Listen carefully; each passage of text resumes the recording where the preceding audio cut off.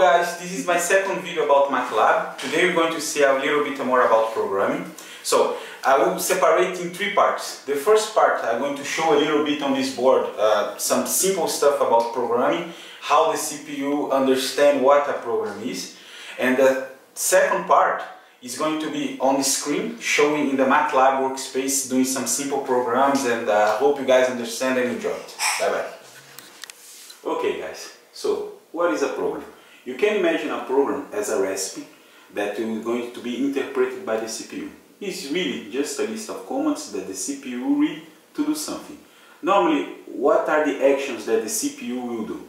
It's going to read from memory, write in memory, it's going to read or write in I.O. ports to connect to the external world, for instance, screen, keyboard, etc. And actually some math operations like sum, subtraction, multiply, divide, etc. Normally, all computer languages have some kind of the same subset of, uh, of instructions. They have uh, instructions that verify some conditions, for instance, the if and the switch. You can have, uh, you can test a condition, and if the condition is true, it's going to execute one action. If the condition is false, it's going to execute another action. It also have uh, iteration conditions, for instance you're going to instruct the CPU to execute something while one condition is true or you're going to execute one set of, uh, of actions for a number specific of iterations okay? Uh, we also have uh, instructions that we're going to break or is going to continue an interaction. We are going to show this with more detail and uh, on the programming board okay? So guys we're going to create here a simple function that are just going to sum two operators, uh, two arguments, sorry. So we're going to have a return value called in a variable called resp and we're going to have one part 1 and part 2 as arguments. Here we're just creating a simple comment that is something that will describe what your code or function is going to be doing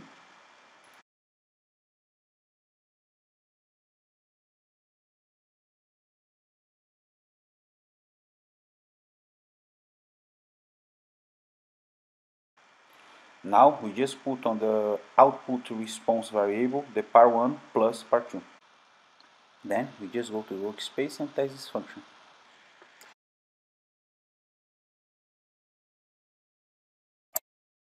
Well, another particular useful feature in MATLAB is that functions can return more than one value. So we're just going to create another function that we're going to calculate I mean more than once and return two different values just to show you guys how to do it.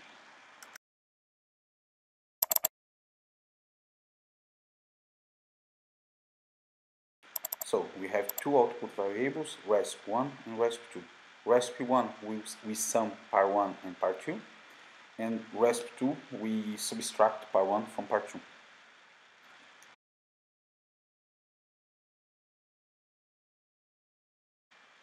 Then we switch to the workspace and show how to uh, call a function that returns two values.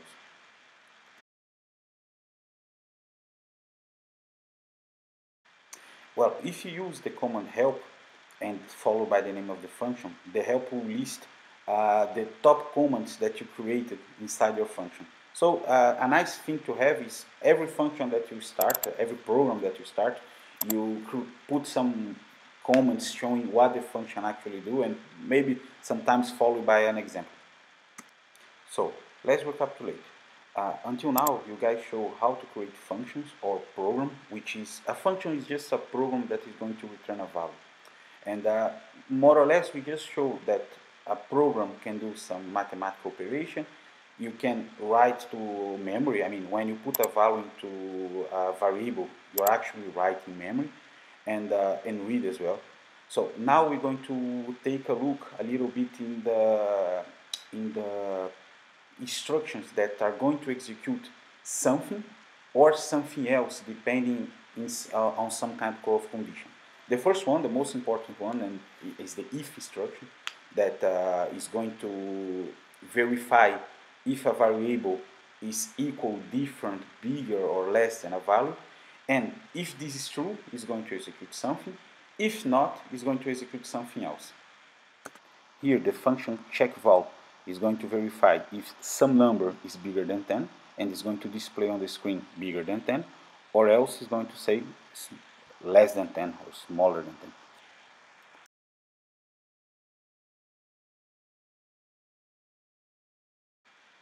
Now we create another if statement that is going to verify if the parameter some number is equal than 10 and display on the screen equal than 10. By the way, the function disp is going to communicate to the external world something that your program is doing. So this is the part that uh, when I previously showed you guys in the board is something that the computers do. They give information and they receive information from the external world. Just to finish the program, we're going to return a difference between uh, 10 and the argument passed in some number. Okay? Uh, a function does not specifically need to return a value. If a function does not return a value, we call it procedure. We're going to see this also in the future.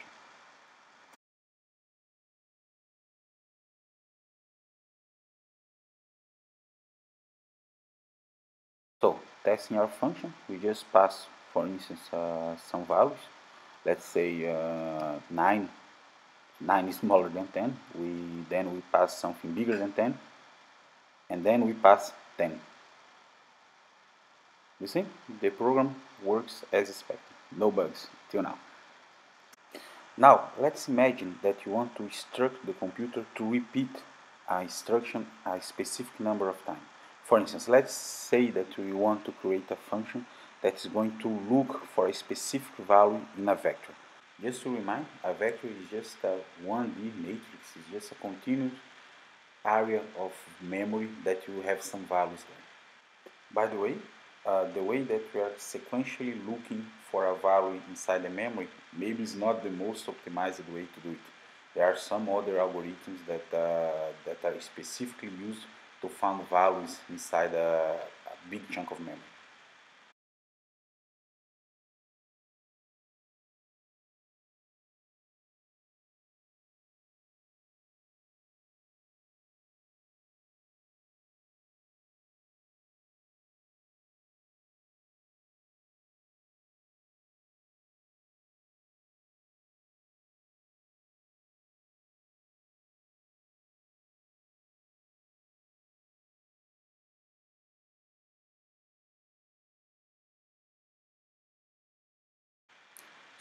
We start just by getting the, the size of our input vector, okay? We use the function uh, numel, which is going to return the number of elements that a vector has, okay? This is going to be used in our for loop to specifically say, okay, do this uh, for every element in my input vector.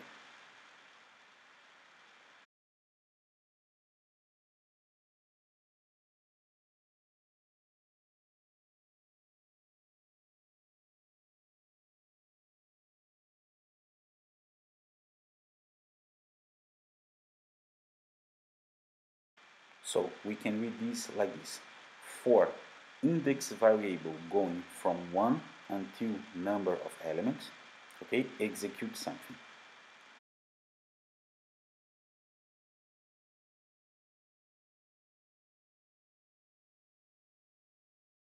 And the action that the for loop will do is just something that is going to compare if the current element pointed in by in vector and your index variable is actually equal to some value. Okay? If this value is true, he's going to return the, the, the index found. This is going this actually is going to work as the position found. Okay? And uh, if it does not found, he keep looking.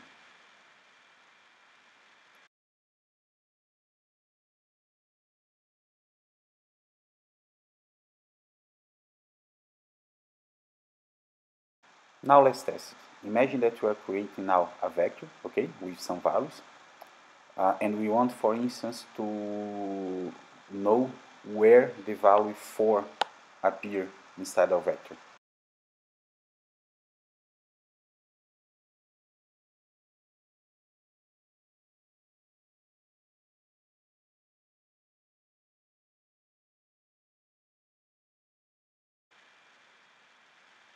Mm, and we have our first bug. So, what is wrong? Uh, we expect to found the value 4 in the fourth position in our vector. Why he's actually returning 6? So let's take a look. Well, our code is going to look for a value, okay? Is going to, for instance, look for the value 4, and is going to continue. But it's not actually what we want. We want to break this iteration. After we found our value, we want to break, we want to stop, okay? Well, this kind of uh, malfunction in our program is one of the difficult parts in the life of every programmer. It's a bug, okay? It's just something that does not work as expected. Now, let's look to our problem of finding a value inside a vector in a different pers perspective, okay? Let's say that now we want to say to the computer that I want to keep looking for a value while this value has not been found yet. Okay? To do this, we are going to use the instruction while. Okay?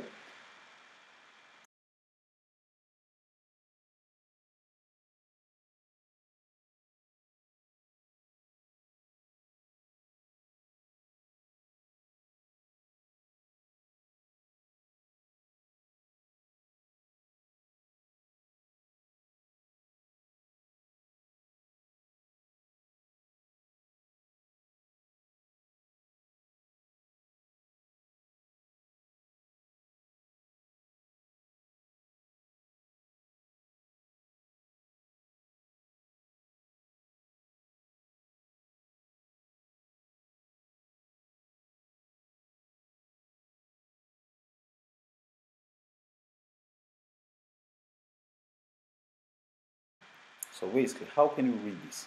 Basically, we want to say while value is not found, okay?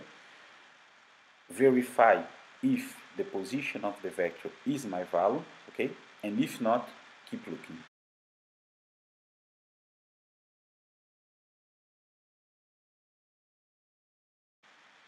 And now let's test our function, okay? It works, but what about if we cannot find this value in our vector? What will happen if we keep looking? Okay, let's test. Well, we have an error. MATLAB is saying that we are trying to, to access a position in our memory that has not been allocated, that does not exist. Okay. Uh, in other languages, we can call this buffer overflow. Okay, MATLAB does not actually allow a buffer overflow to occur. Every time that it detects that uh, that you are trying to access out of your uh, vector boundary, he's going to return an error. So what you're just going to add here is something that is going to verify if uh, we are out of our vector boundary. Okay, uh, before we increment our counter our index count variable, we verify if this is not already bigger than the number of elements that we have in our vector. If it is, we break a loop.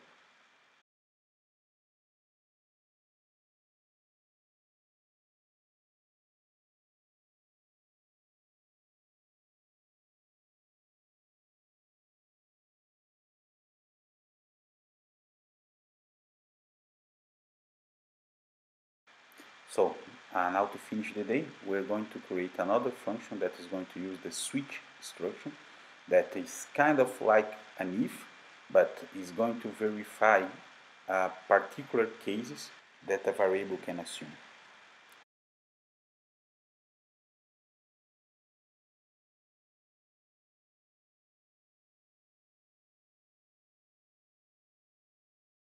So here the function detect number does not have input arguments. We're going to get those values from the input variable that is going to prompt the user to type a number. Okay, and uh, we're going to use the switch instruction to map particular cases that the variable some num can have and uh, we are going to execute something based on those particular cases. You can also do this with the if instruction, but the, in the end you're going to create a lot of if else, if else, and this can make your program become more difficult to read. In the case that you have a lot of particular cases that a variable can assume, you can use the switch instruction.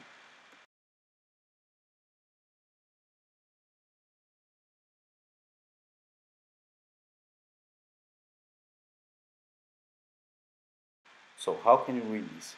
Uh, in the cases that some num can be value 1, we display num1 detected. If we have the value 8, we say num8 detected. Otherwise, we say number unknown.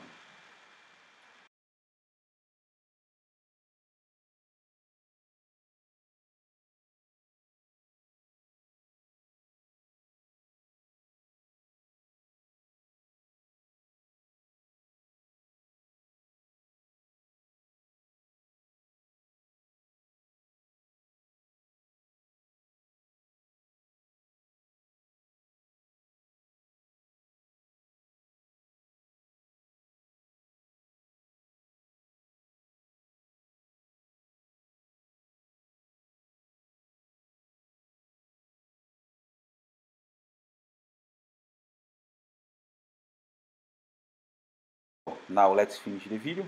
Well, uh, this was the introduction about programming in MATLAB. The next video you're going to see a little bit more about uh, object-oriented programming. Okay? Ciao, ciao. See you in the next video. Bye-bye.